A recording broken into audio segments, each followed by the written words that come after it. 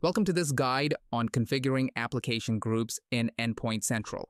To create application groups, log in to the Endpoint Central Web Console and navigate to the Application Control module. Under Application Groups, choose to create an allow list or block list based on your organization's needs.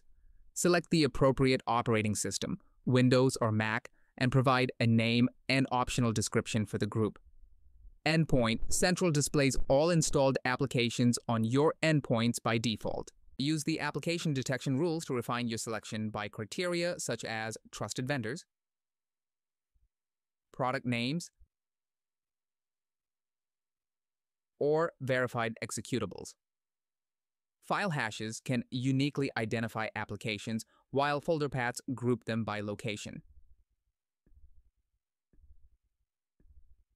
Can also manage Windows Store apps or define custom rules to address specific requirements.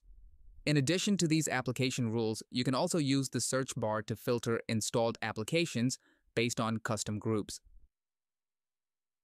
application type, and publisher credibility. Once you've applied the necessary filters and criteria, click Create to finalize the application group.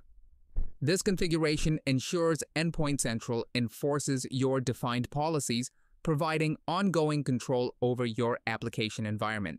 And that's it. You now know how to configure application groups in Endpoint Central.